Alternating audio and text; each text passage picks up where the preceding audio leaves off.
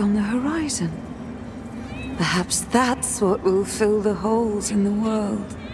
I'll dance in its wake, pluck it from the air and bring it home. It's not so far away.